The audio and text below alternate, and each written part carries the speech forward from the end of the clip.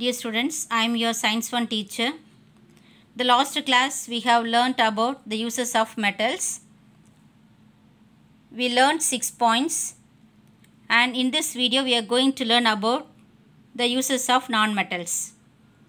It contains 6 points, 6 uses. The first one is diamond. Uh, basically you know very well about the uses of diamond, isn't it? Diamond, a form of carbon, is used for making jewels, isn't it? You might have uh, seen the jewels with diamonds. Cutting and grinding equipments. Graphite is used in making pencil lead. You may know, isn't it? You might have seen the graphite in the pencil, isn't it? Those, this is the graphite.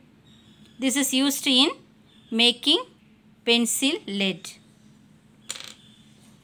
And then what is meant by equipment? The things that are needed to do a particular activity. This is the meaning for equipment. So are you clear about the uses of first point?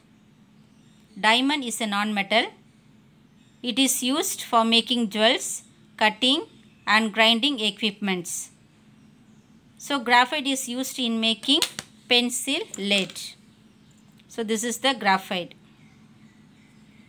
The second point, sulfur is used in the manufacturing of gunpowder and vulcanization of rubber. What is meant by vulcanization?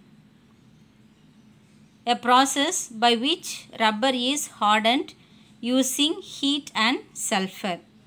So this is the uses of non-metal.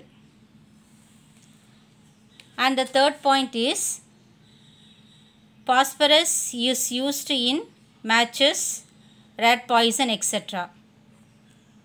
Uh, matches you have seen in your home, isn't it?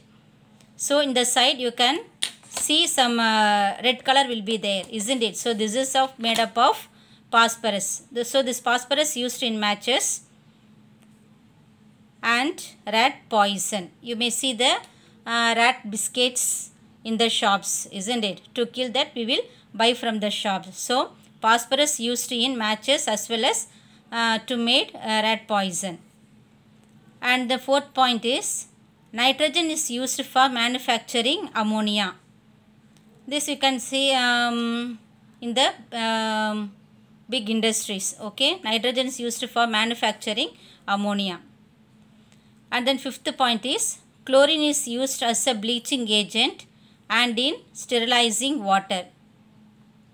So uh, uses of chlorine is used as bleaching powder, bleaching agent as well as sterilizing water. What does mean by sterilizing?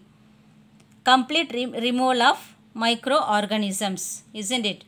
Uh, for example, if you go to hospitals in those days, um, nowadays it is used and throw injections, isn't it? But in those days, uh, they will uh, inject uh, medicine to one person. After that, after injecting the injections, um, they will put in the hot water to sterilize.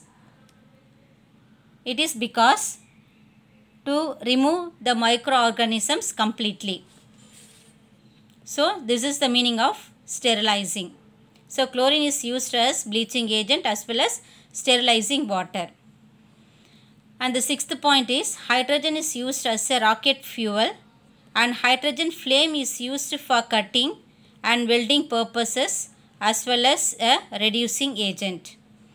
Uh, this re uh, reducing agent is in um, chemical properties for um, uh, if you uh, you may seen in the lab lab activities you will come to know when you are doing for uh, higher studies you will know about what is reducing agent and how uh, what all the things are happening in the lab okay and then welding purposes that you may see now while you were passing through the welding shops you might have seen the flames isn't it? That is nothing but that is the hydrogen flame that is used for cutting and welding purposes. Then hydrogen is used as a rocket fuel isn't it? Uh, how, how we are using for fuels for uh, vehicles two wheeler three wheeler four wheeler in the same way uh, hydrogen is used as a fuel in rockets. So this is the uh, six points of uses of non-metals. So all these six points, write it in your classwork note and read it. If you have any doubts, just you clarify with me at any time through my personal number. Thank you.